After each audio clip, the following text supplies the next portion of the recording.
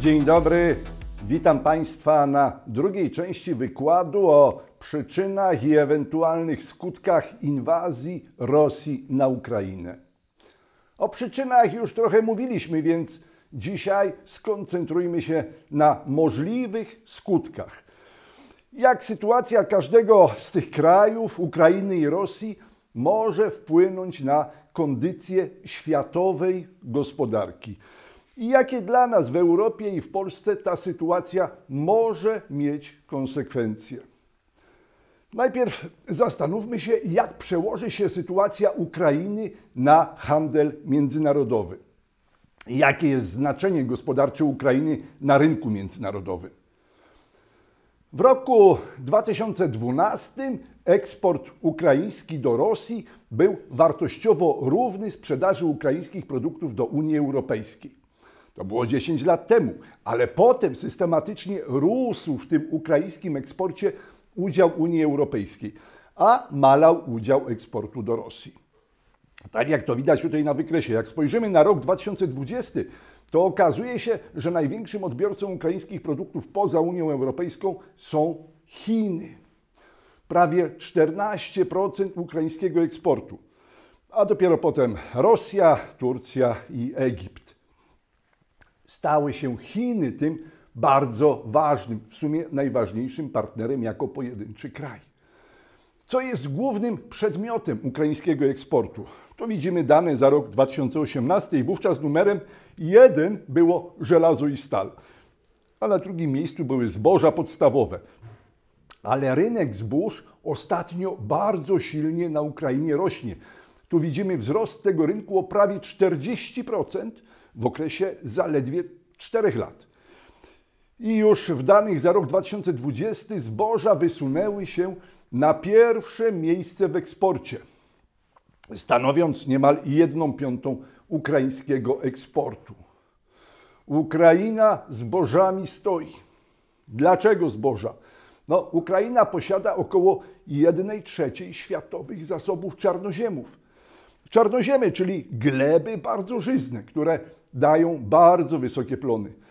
Aż trudno uwierzyć, że w latach 1932-33 na Ukrainie był tak wielki głód, że spowodował śmierć z głodu od 3 do 12 milionów ludzi. Sztoczny głód wywołany przez Stalina, przez komunistów. Dzisiaj ta ukraińska ziemia wydaje olbrzymie plony. Przewaga komparatywna, czyli jakby ten sprawiedliwy udział w eksporcie zbóż, wynosi 27,4, co oznacza, że Ukraina staje się znaczącym graczem na rynku światowym. Powiedziałem, że przewaga komparatywna dla zbóż ukraińskich wynosi aż 27,4, chociaż jak się zagłębimy, to okazuje się, że w wąskiej specjalizacji te wyniki są znacznie lepsze, wręcz imponujące. Ukraińska przewaga komparatywna dla kukurydzy wynosi 45,9, dla jęczmienia 41,1, dla pszenicy i mieszanki pszenicy z żytem 27,7. Trudno szukać nawet podobnych wartości w polskim eksporcie. To nie ten rząd. Ukraina robi się naprawdę znaczącym graczem na tym rynku światowym zbóż. Ale na ukraińskiej ziemi toczy się wojna. Tu na slajdzie pokazuję obwody, które wnoszą wkład w produkcję rolną. Akurat w tych obwodach toczy się wojna. Nie można uprawiać ziemi, kiedy jeżdżą po niej czołgi. Czołg rozgniata gąsienicami plony i tej miazgi nie da się już później wykorzystać. Powojennej miazgi nie da się sprzedać i Ukraina zbiednieje o tegoroczne zbiory. Ukraina od lat eksportuje zboża, a w tym roku no, może być odwrotnie. Na razie państwa zachodnie przekazują Ukraińcom uzbrojenie i Ukraińcy dzielnie walczą z Rosjanami. I może nawet będą walczyć do ostatniego żywego Ukraińca, ale, ale na koniec to pewnie państwa zachodnie będą musiały dostarczyć żywność na Ukrainę. Żywności na Ukrainie może zabraknąć, no bo gdzie ją uprawiać, jak jeżdżą czołgi i ludzie do siebie strzelają. Jak spojrzymy na ten światowy rynek eksporterów zbóż, to największym eksporterem są, tak jak tu Państwo widzicie, Stany Zjednoczone. Same Stany Zjednoczone dają prawie 15, nawet 16% światowego eksportu. Potem Rosja i Ukraina. Idą niemal łeb w łeb. Oba te kraje walczą w tej chwili ze sobą i oba te kraje odpowiadają za 17% światowego eksportu zbóż, czyli niewiele więcej niż pojedyncze Stany Zjednoczone. Potem na tym rynku eksporterów mamy grupę zbliżonych wolumenem eksportowym państw.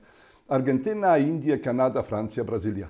Razem dostarczają prawie 1 trzecią światowych zbóż.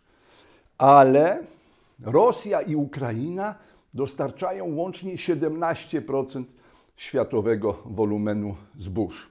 I te państwa dzisiaj ze sobą walczą. To jest bardzo dużo. Jak spojrzymy na pszenicę, jęczmień i kukurydzę, to ta sytuacja jest jeszcze bardziej poważna. W 2020 roku Rosja i Ukraina odpowiadały za 1 czwartą światowego eksportu pszenicy. Rosja 18, Ukraina 8%. I za 1 czwartą światowego eksportu jęczmienia. Rosja i Ukraina po 12%. I za 1 siódmą światowego eksportu kukurydzy. Ukraina 13, a Rosja tylko 1%. Ale to są ilości ogromne, bardzo znaczące. Na rynku światowym bardzo znaczące i tym rynkiem światowym mogą zachwiać. ONZ już ogłosiła niebezpieczeństwo braku żywności w Afryce i na Bliskim Wschodzie. W Afryce może ludziom głód zajrzeć w oczy. Według UNICEF-u głód doskwiera ponad 700 milionom ludzi na całym świecie. W samej Afryce, głównie Afryce subsaharyjskiej, stale zagrożonych głodem jest ponad 250 milionów ludzi. W Azji Południowej to jest prawie 400 milionów głodujących. Teraz, wskutek tej sytuacji z wojną na Ukrainie, to zjawisko może się zdecydowanie pogłębić. Ukraińska pszenica idzie głównie właśnie do Azji i do Afryki. Pokazuje to Państwu tutaj na slajdach. Więc skutkiem tej rosyjskiej inwazji na Ukrainę może być śmierć z głodu dodatkowych kilku, a może kilkudziesięciu milionów ludzi w południowej Azji i Afryce. Wojna toczy się we wschodniej Europie, ale może zebrać obfite żniwo śmierci w Afryce i w Azji. No cóż, Świat jest globalną wioską, ale Afryka jest daleko od nas. Wielu z nas machnie na to ręką. Tyle, że eksport ukraińskiej kukurydzy szedł w dużym stopniu także do Europy. Tu pokazuję na slajdzie Holandia i Hiszpania. I uwaga, Hiszpania już zgłasza problemy. Tylko w marcu Całkiem niedawno zbankrutowało ponad 7,5 tysiąca firm rolniczych w Hiszpanii. Walki toczą się w Europie Wschodniej, a bankrutują rolnicy na zachodnim skraju europejskiego kontynentu. Cóż, świat jest globalną wioską, ale zdecydowanie większe jest zagrożenie wynikające z wpływu Rosji na rolnictwo. Rosyjska pszenica też trafia w największym stopniu do Afryki i Azji. Pokazuje to Państwu i co warto zauważyć, oba te kraje, Ukraina i Rosja, eksportują najwięcej pszenicy do Egiptu. Nie trzeba być jasnowidzem, żeby przewidzieć trudności żywieniowe w Egipcie. To jest zwykła matematyka. Poczekajmy, Egipt niebawem zacznie cierpieć. W Egipcie żywność może raptownie podrożyć i wzrosną ceny posiłków w egipskich kurortach. Widać to, prawda? Ale to nie koniec rolniczych skutków rosyjskiej inwazji na Ukrainę. Rosja jest największym na świecie eksporterem nawozów dla rolnictwa. Ponad 12% światowego eksportu za 63 miliardy dolarów. I te rosyjskie nawozy trafiają w największym stopniu do Brazylii. Pokazuję to. Te rosyjskie nawozy trafiają też do Indii, do Chin, do Estonii i do Stanów Zjednoczonych. Brazylijczycy już nawet całkiem niedawno byli w Rosji, żeby zabezpieczyć swoje dostawy, ale bezskutecznie. Póki co nie udało im się negocjacje z wojującą Rosją. Zdecydowanie najwięcej tych nawozów sprowadzają Brazylijczycy z Rosji. No, widzicie Państwo na wykresie, to ten wykres po lewej stronie. Jeśli Brazylijczycy nie otrzymają nawozów, to nie wyprodukują i nie sprzedadzą, uwaga, soi.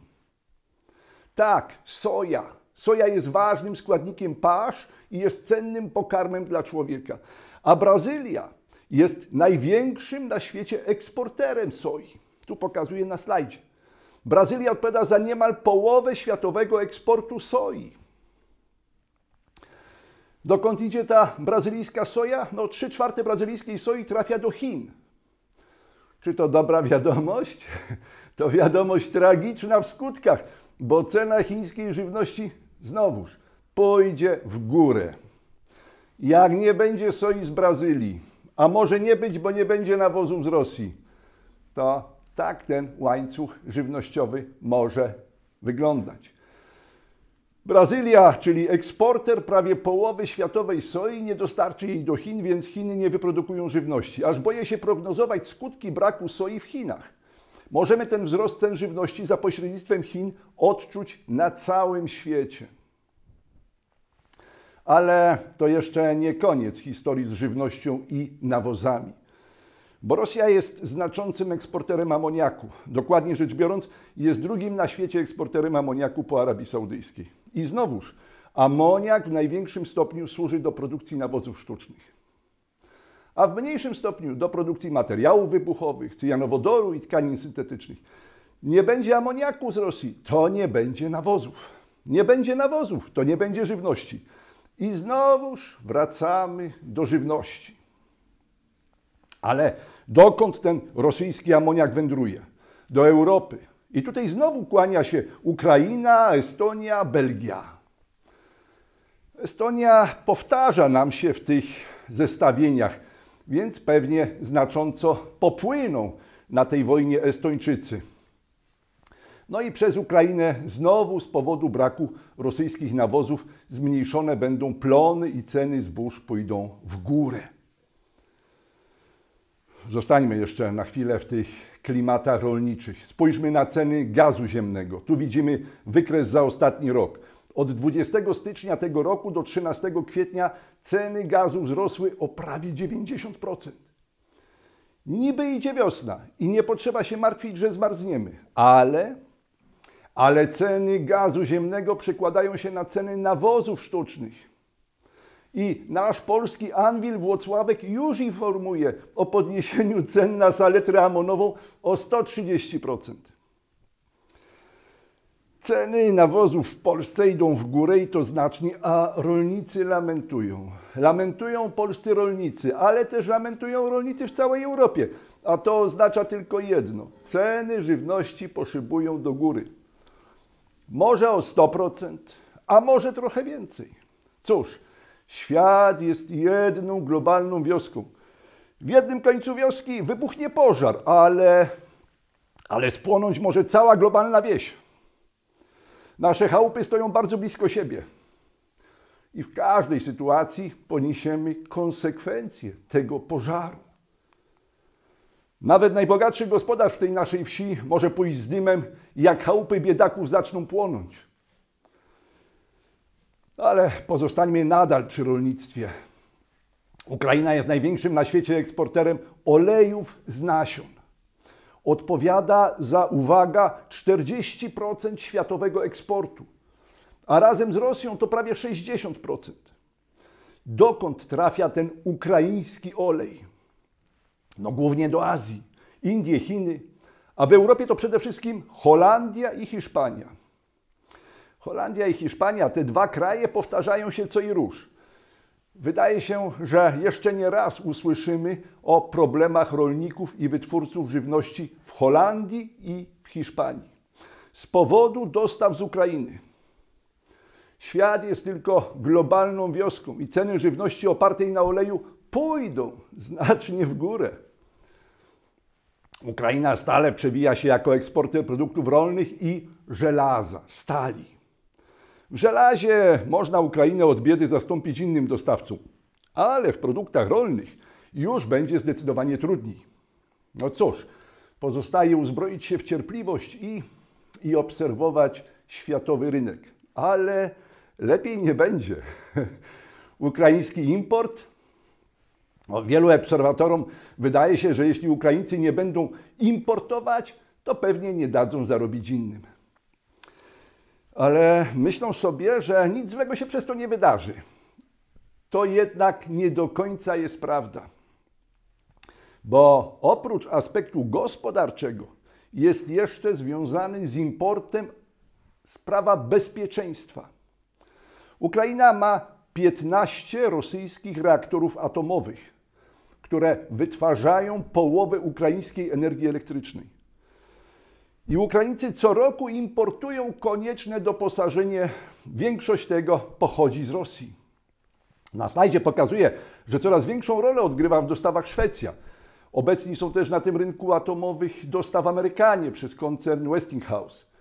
Niemal wszystkie ukraińskie reaktory są na terenach objętych działaniami wojennymi. Istnieje poważna obawa o niezakłócaną pracę tych rosyjskich reaktorów, zarówno w czasie inwazji, jak i po jej zakończeniu.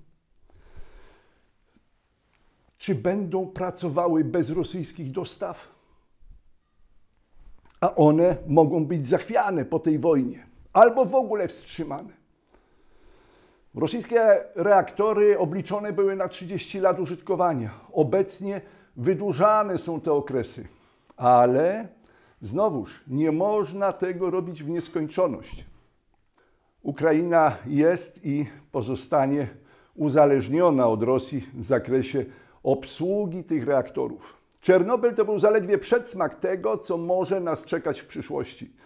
W każdym razie zaopatrzenie i bezpieczeństwo pracy ukraińskich reaktorów atomowych może stanowić poważny problem po zakończeniu wojny ukraińsko-rosyjskiej. A kolejnym zagrożeniem są dostawy energii elektrycznej na Ukrainę. Czy uda się skutecznie połączyć Ukrainę do europejskiego systemu energetycznego? Próby już od lat są robione, ale czy będą skuteczne? Nie wiadomo. Zobaczymy, znaków zapytania i tych energetycznych zagrożeń Ukrainy jest wiele.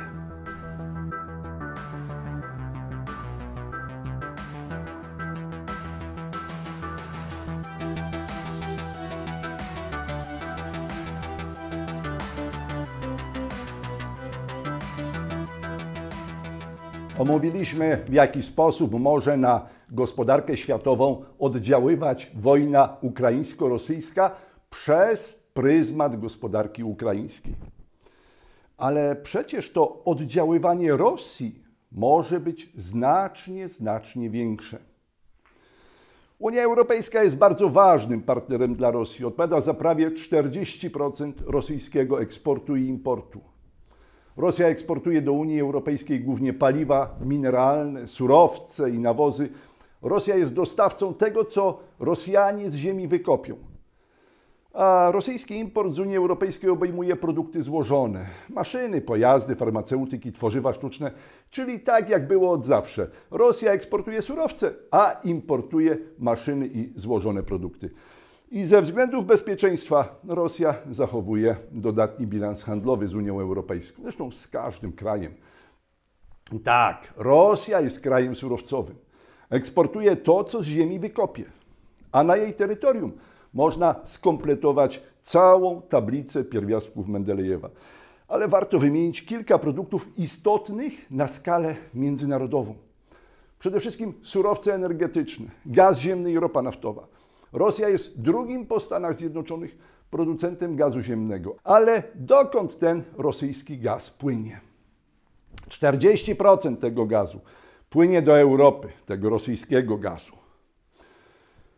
I ten rosyjski gaz stanowi około 1 trzeciej całego gazu wykorzystywanego w Europie.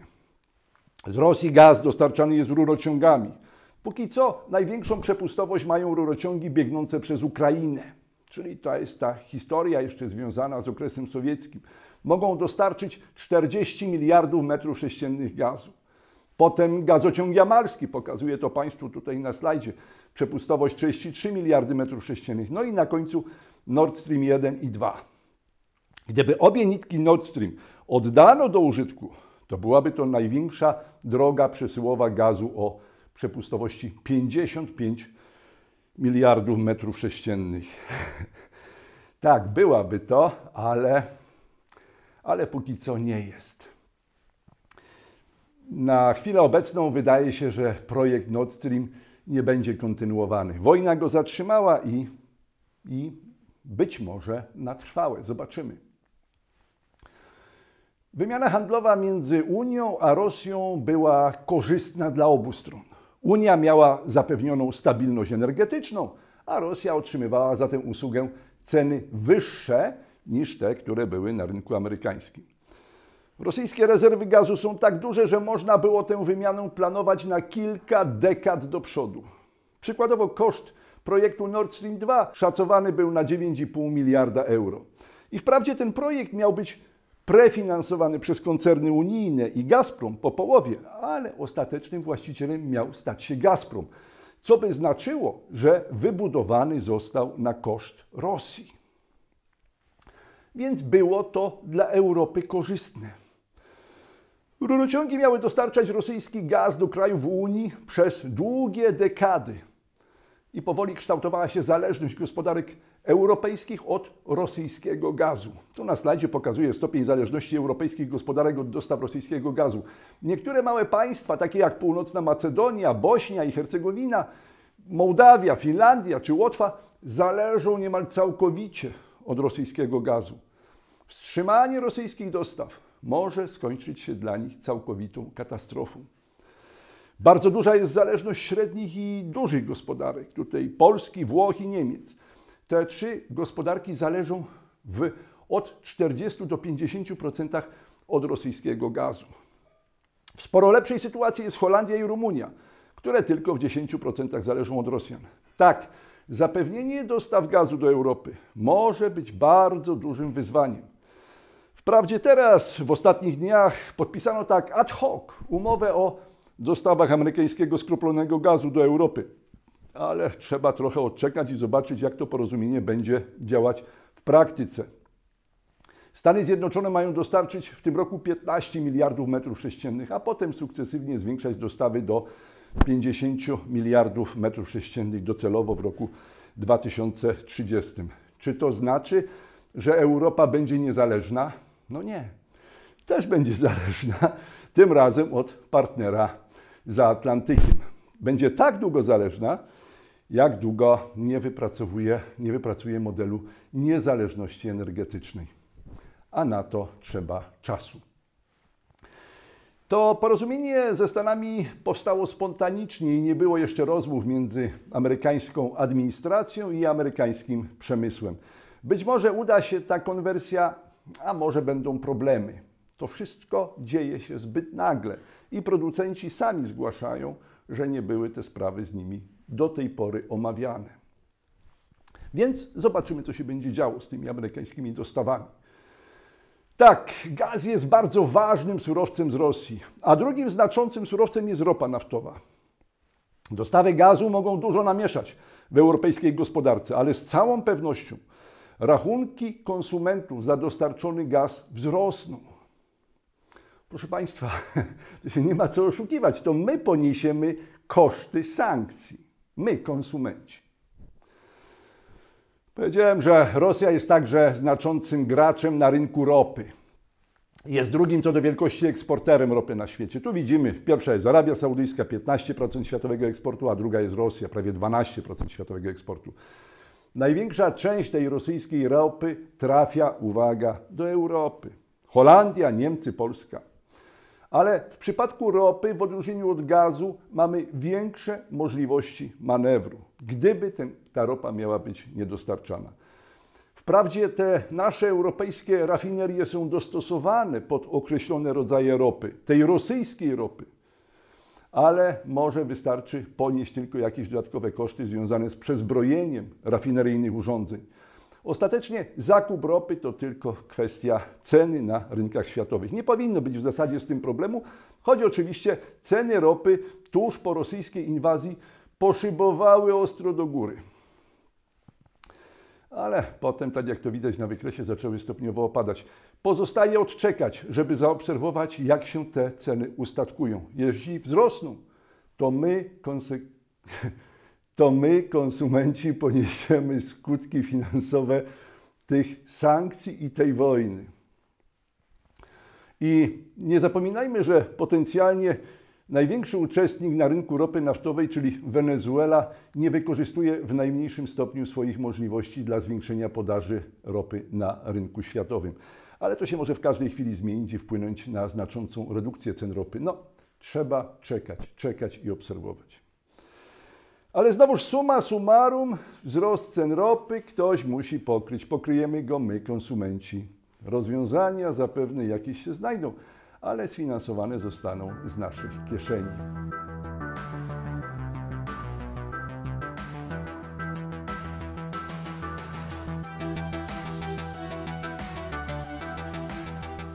Unia Europejska to największy na świecie producent i eksporter samochodów.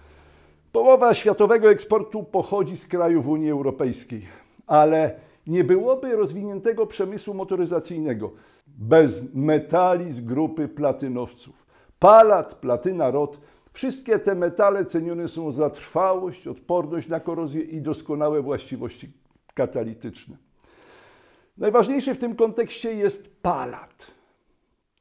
A lista producentów paladu jest krótka. RPA, Rosja, Kanada, Stany Zjednoczone i Zimbabwe. Reszta właściwie się nie liczy.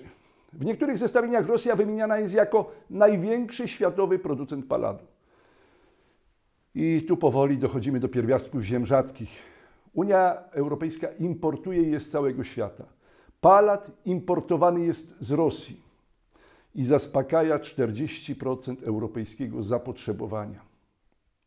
Największym światowym eksporterem paladu jest Rosja. Rosja to jedna czwarta światowego eksportu. Odbiorcami rosyjskiego paladu są Wielka Brytania, Niemcy, Stany Zjednoczone, Japonia i Chiny. Chiny via Hongkong.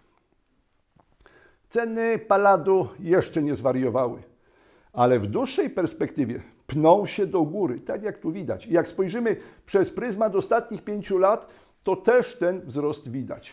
Ale po rosyjskiej inwazji nie ma wielkich obaw o ceny tego surowca. Zatem europejska branża motoryzacyjna będzie się miała, no prawdopodobnie nie zachwieje to branżą, ale niewykluczone, że rosyjski palat nie trafi do Europy.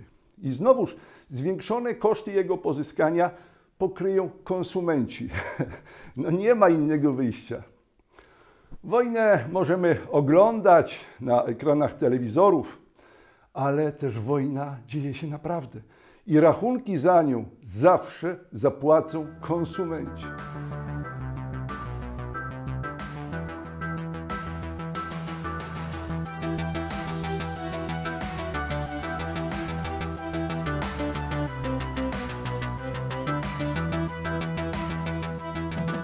Tak, gospodarczo Rosja nas, Unii Europejskiej, nie przewróci.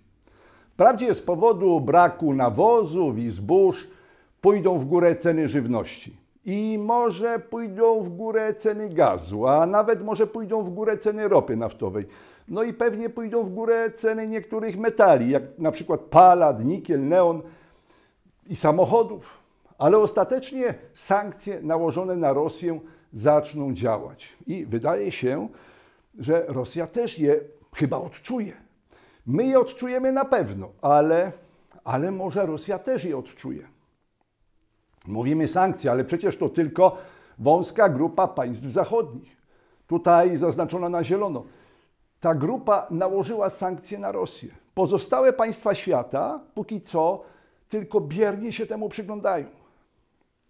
Jakie mogą być gospodarcze skutki tych sankcji gospodarczych dla Rosji? No, szukam różnych symulacji liczone gałąź po gałęzi, ale są różne szacunki, bo tak naprawdę nikt nie jest w stanie przewidzieć złożoności oddziaływania sankcji. Na początku mówiło się o spadku rzędu no 4,5 do 5% PKB.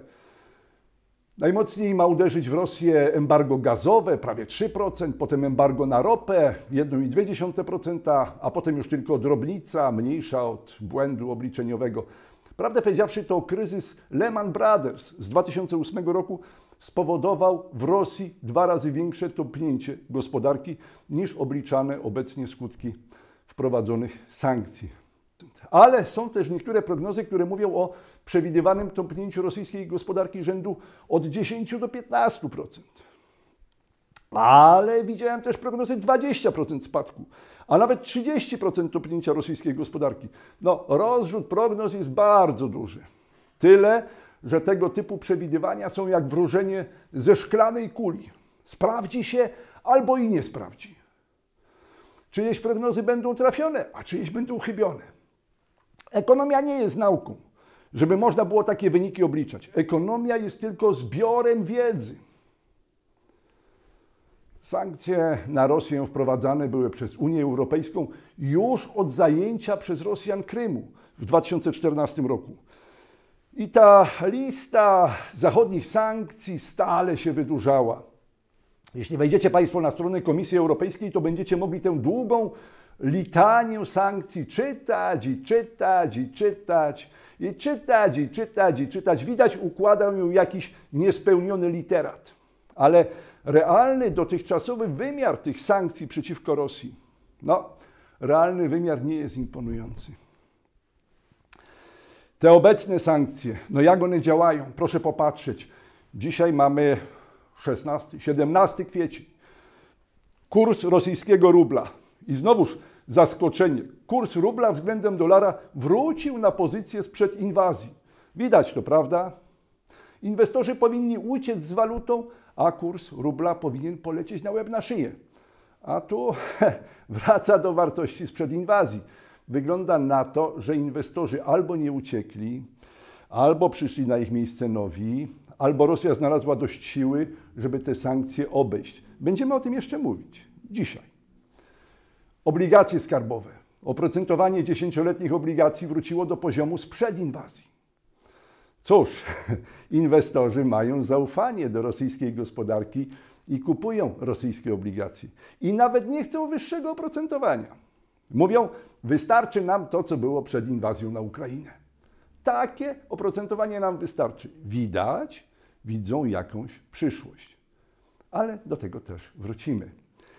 No, jak inaczej można to interpretować jak niezaufanie? Przecież gdyby ta gospodarka miała runąć, gdyby inwestorzy chcieli uciekać z dolarami, to nikt przy zdrowych zmysłach nie kupowałby tych obligacji. A oprocentowanie szalałoby i leciało do góry. A może znowuż Rosja znalazła obejście? A polskie obligacje? No proszę popatrzeć, oprocentowanie polskich obligacji wzrosło w tym czasie o 2%. 2% jak na polskie warunki członka Unii Europejskiej to bardzo dużo. Widać, inwestorzy mają większe zaufanie do obligacji rosyjskich niż do polskich. No to jeszcze popatrzmy na rosyjską giełdę. Miał być eksodus firm z Rosji. No to powinni też za nimi uciekać inwestorzy, a tu niewiele się zmieniło. Indeks miał tendencję zniżkową od początku roku, ale potem przed inwazją stanął. I właściwie nadal stoi w tym samym miejscu. No, nie takich należałoby się spodziewać reakcji na zapowiedziane sankcje Zachodu. Powinniśmy obserwować Armagedon, a tu wcale się na to nie zanosi. A może znowuż Rosja znalazła obejście tych sankcji? Na ile czasu starczy tej Rosji sił i środków? Oczywiście w każdej chwili może się to zmienić, ale póki co, jak jest, każdy widzi. Każdy może to obserwować. Uzbrójmy się w cierpliwość. Czekajmy. Będą jeszcze nieraz zmiany sytuacji. Ale chciałbym przypomnieć, że z sankcjami Zachodu po aneksji Krymu Rosja uporała się stosunkowo łatwo. Łatwo się uporała, chociaż, chociaż cena ropy naftowej była wówczas bardzo niska. Proszę zobaczyć, jak skoczyła. To pokazuję na slajdzie. Dzisiejsza sytuacja jest bez porównania bardziej korzystna dla Rosji. Cena ropy dzisiaj jest około trzy razy wyższa. Gdziekolwiek Rosjanie nie zechcą tę ropę sprzedać, to otrzymają dobrą kasę. Oczywiście pytanie, czy tej kasy starczy na odparcie tych zachodnich sankcji, ale wtedy sobie poradzili pomimo ogromnego spadku cen ropy. A na ropie Rosja zawsze i Związek Radziecki wcześniej zawsze stały. I chciałbym przy tej okazji przypomnieć sprawę niedawnych sankcji prezydenta Trumpa na Chiny. Trump, Państwo to pamiętacie, stwierdził, że Stany Zjednoczone mają zbyt duży deficyt handlowy z Chinami i że trzeba dla jego poprawy wprowadzić dodatkowe cła importowe na chińskie produkty. No, słynne było to jego powiedzenie i za każdym razem we wszystkich mediach powtarzane, że wojny handlowe są dobre i łatwe do wygrania. Tak, tak to twierdził polityk Trump, ten bardzo skuteczny polityk. No i jak powiedział, tak zrobił. Od lata 2018 roku zaczął nakładać cła importowe na chińskie produkty. Tu na slajdzie pokazuje ewolucję tej wojny handlowej, którą zaczęły i prowadziły Stany Zjednoczone. Ale na każde uderzenie Stanów Zjednoczonych było kontruderzenie Chin. No na tym te wojny polegają, takie obkładanie się ciosami, jedno w drugie strzela. Jaki był wynik tej wojny handlowej, którą wypowiedziały Stany Zjednoczone Chinom? Po pierwsze, Chiny przez kolejne lata, uwaga, odnotowały rekordowe nadwyżki handlowe. Tu pokazuję je przez pryzmat danych statysty. I widać, jak od 2018 roku te chińskie nadwyżki gigantycznie rosną. No, efekt wojny handlowej ze Stanami. Po drugie, koszty poniesione przez amerykańskie firmy były bardzo wysokie. Tutaj pokazuję je przez pryzmat różnych raportów. W żadnym znanym mi raporcie nie odnotowano pozytywnych skutków tych sankcji na amerykańską gospodarkę. Wprost przeciwnie. Generalnie Amerykanie stracili. No takie są dane statystyczne. Tego się nie da w żaden sposób inaczej przedstawić. Ja nie znam innych danych, a chętnie bym się zapoznał. Jedynym plusem tej wojny było to, że faktycznie deficyt amerykański zmalał, tak jak to widać na slajdzie. Ale czy naprawdę można to nazwać sukcesem przy tych danych, które wcześniej pokazałem? Przecież to była klęska. Ta wojna ani nie była łatwa, ani nie była wygrana. No i rzecz najważniejsza. Jak skończyła się ta historia z sankcjami Trumpa? W 2020 roku podpisano z Chinami porozumienie kończące obowiązywanie tych sankcji.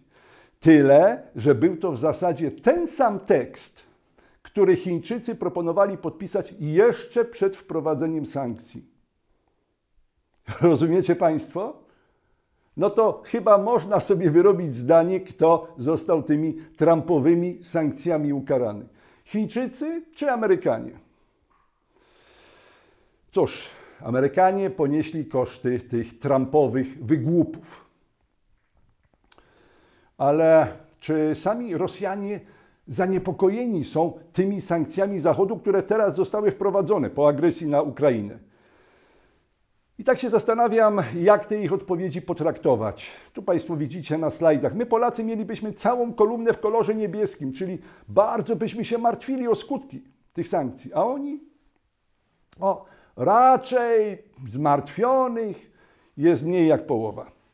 Może dlatego, że nie martwią się tym, że nie wyjadą na urlop do zachodnich kurortów. A może dlatego nie martwią się, że cena ropy naftowej idzie do góry. A przecież wzrost ceny ropy naftowej działa na korzyść ich gospodarki, na korzyść ich dochodów. Kiedy w 2014 roku Zachód wprowadził sankcje po zajęciu przez Rosjan Krymu, ropa poleciała na dół. Było gorzej, ale teraz czym się martwić? Jest dobrze z punktu widzenia Rosjan. Zdarzyło się raz jeden, jedyny w rosyjskiej historii, że zostali przez obcych pokonani. I to były nasze polskie wojska, które potem we wrześniu 1610 roku zajęły Moskwę. I te nasze polskie wojska stacjonowały w Moskwie do października 1612. Działo się to w okresie wielkiej rosyjskiej smuty. Smuty, czyli długiego ciągu różnorakich nieszczęść, jakie na Rosjan spadały. Nigdy wcześniej ani później nikomu się nie udało Rosjan pokonać. Rosjanie wytrzymali głód w Leningradzie, wytrzymali Stalingrad i łagry stalinowskie też przeżyli. Rosjanie są z tego dumni, więc i zachodnie sankcje pewnie też wytrzymają. Nie wiem, zobaczymy, ale historię tych przesileń i tych wytrzymań mają bardzo długą, szczególnie te ostatnie dekady w XX wieku. Proszę jednak pamiętać, że każde sankcje gospodarcze są jak wymiana ciosów. Dwie strony ucierpią. Unia Europejska i Rosja. I Unia ucierpi, i Rosja ucierpi. Zobaczymy, która strona ucierpi bardziej. I w jakim stopniu za te sankcje zapłacimy z naszych, też polskich portfeli.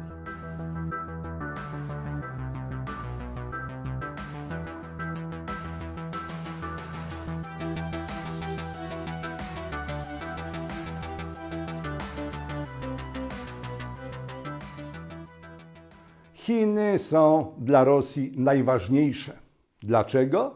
No po pierwsze dlatego, że są największym partnerem handlowym Rosji. Rosja jest państwem surowcowym i najwięcej swoich surowców Rosja sprzedaje w Chinach.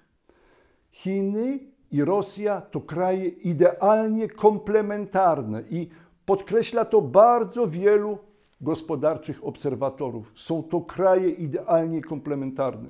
Zbliżenie obu krajów przebiega szczególnie intensywnie właśnie po rosyjskiej inwazji na Krym i po wprowadzeniu przez Zachód sankcji na Rosję.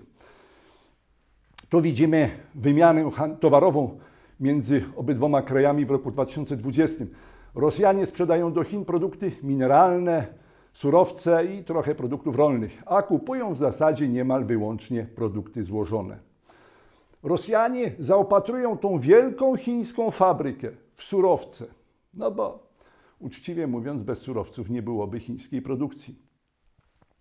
Dwie trzecie z tych rosyjskich surowców to surowce mineralne, głównie ropa naftowa i gaz ziemny. System rurociągów jest w Rosji stale rozbudowywany. Za przykład wzorcowej współpracy jest często podawany rurociąg Syberia Wschodnia Ocean Spokojny, tak zwany WSTO-2. Łączny koszt budowy to było 23 miliardy dolarów. Przy nim taki Nord Stream to naprawdę mały projekt. No cóż, nie samym Nord Streamem Rosja żyje.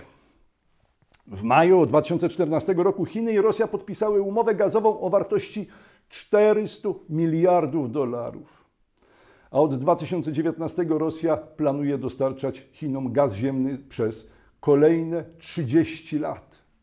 Takie perspektywy współpracy, takie perspektywy zbliżenia. Obroty Rosji w handlu z Chinami rosną z roku na rok. Tu widzimy na wykresach rosnący handel między obydwoma krajami. W roku 2024 przewidywany jest wzrost obrotów do poziomu 200 miliardów dolarów. Ale ostatnio ten cel ustanowiony został na poziomie 250 miliardów dolarów.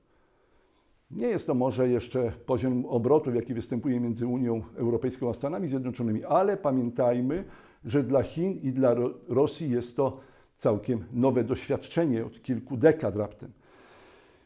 I najważniejszym jest, że widzą perspektywę dalszego, bardzo szybkiego rozwoju wymiany handlowej między tymi krajami. Powiedzieliśmy te surowce energetyczne, ale dalej żywność. Rosja sprzedaje do Chin soję w wolumenie pół miliona ton ale do roku 2024 mają te dostawy osiągnąć poziom 3,7 miliona ton. Dalej, to co czytam, to bardzo perspektywiczne są plany dostaw rosyjskiej wołowiny, pszenicy, ryb, oleju słonecznikowego, oleju rzepakowego, drobiu, mąki pszennej i czekolady. Chiny są również ogromnym nabywcą drewna z Dalekiego Wschodu Rosji. Import drewna i powiązanych produktów przekroczył wartość 4,1 miliarda dolarów i nadal rośnie. Tak, Chiny i Rosja to kraje idealnie komplementarne.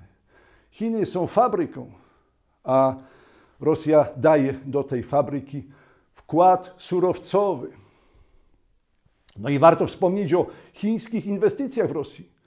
Inwestycje przede wszystkim w sektor energetyczny projekty, które należą do największych na świecie. Prezentuję je tutaj na slajdzie dla wyrobienia sobie pojęcia o skali tej współpracy. Chiny są graczem globalnym o myśleniu daleko wybiegającym w przyszłość. To nie jest państwo, które zmienia politykę z każdą nową administracją, jak na przykład Stany Zjednoczone. Tak, Chiny są graczem globalnym, wybiegającym daleko w przyszłość. I stąd realizowany przez nie gigantyczny projekt pasa i drogi Właściwie obejmie obszar niemal całego świata. No, jest tam 70 krajów, które zostały doproszone do tego projektu dla stworzenia i udrożnienia dróg dostaw chińskich produktów, żeby je można po całym świecie eksportować. Chiny, ta największa fabryka świata, chcą rozprowadzać swoje produkty dosłownie po całym globie. Ale przecież duża część tego projektu pasa i drogi obejmuje Rosję. W każdym aspekcie Chiny i Rosja są krajami idealnie komplementarnymi. Fabryką i dostawcą surowców do tej fabryki. Po inwazji Rosji na Ukrainę Zachód objął Rosję sankcjami. No a jak zachowują się Chiny w tej sytuacji? Uwaga! Chiny obwiniają Stany Zjednoczone o wywołanie tej wojny ukraińsko-rosyjskiej. Chiny nie obwiniają Rosji, ale właśnie Stany Zjednoczone. I Chiny mówią, że Stany Zjednoczone skłoniły innych do wojny w ich imieniu, a Ukraina stała się frontem rywalizacji wielkich mocarstw. Tak, według Chińczyków Ukraińcy walczą za Amerykanów i w interesie Amerykanów. Tam nie zginie ani jeden amerykański żołnierz, jak we wcześniejszych wszystkich konfliktach amerykańskich po II wojnie światowej. To jest konflikt wyjątkowy, bez kosztów ciągnionych tych działań wojennych, bo koszty zostaną w Ukrainie. To będą Ukraińcy bez domów, to będą Ukraińcy bez zdrowia i to będą Ukraińcy, którzy zginą. Czy Chiny przyłączyły się do zachodnich sankcji? Oczywiście, że się nie przyłączyły. Ale nawet więcej, chiński kapitał, także ten z Hongkongu, inwestuje masowo w rosyjskie firmy. Pokazuje to Państwo na slajdach i pokazuje źródła danych. Proszę je sprawdzać. Chińczycy dostrzegli szansę tanich zakupów. Zakupy są teraz tańsze, ale z dobrymi perspektywami na przyszłość. I chińskie kapitały napływają do Rosji.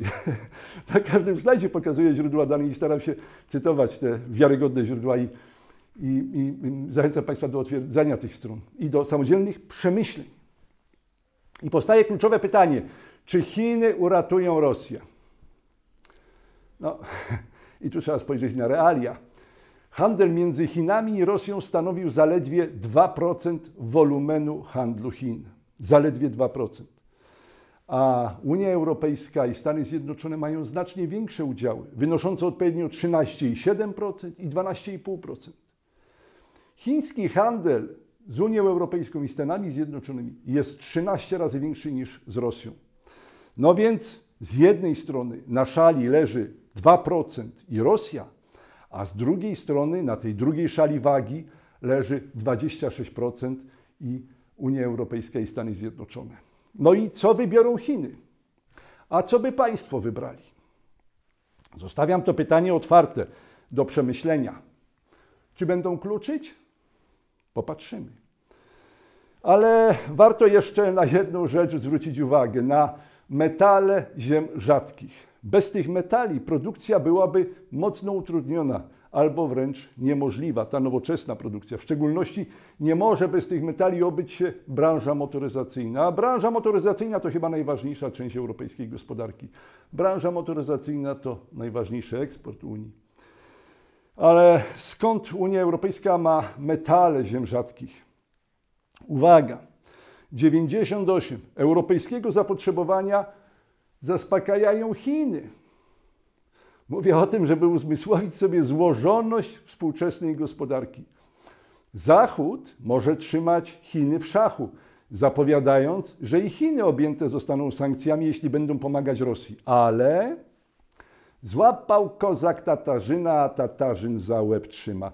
Wszystkie strony są od siebie mocno zależne. I każda ze stron patrzy, jakie karty ma w rękawie. Każda ze stron chce Rosję połknąć. I kto wie, może Chiny powiedzą Zachodowi: Nie straż, nie straż, bo się. No właśnie. I może to Chiny wyjdą zwycięsko z obecnego starcia? Unia Europejska. No cóż, wydaje się, że w tej rozgrywce to Unia Europejska ma najsłabszą pozycję. I nie dziwię się tej wstrzemięźliwości Niemiec i wstrzemięźliwości Francji, żeby angażować się w te wojny, ale to już temat na osobny wykład. I jeszcze nasze polskie położenie geograficzne. W wyniku wojny i sankcji osłabnie postrzeganie przez inwestorów stabilności całej Europy Wschodniej. Nasza polska złotówka może wejść w 7 lat chudych, bo nikt nie będzie skłonny inwestować w regionie, który jest politycznie niestabilny. I na to musimy się przygotować. Ale jedno jest pewne, że każda wojna generuje koszty. I duża część kosztów tej wojny poniesiona zostanie przez mieszkańców Unii Europejskiej, w tym także przez nas w Polsce. I z tą refleksją Państwa pozostawiam. Dziękuję za uwagę.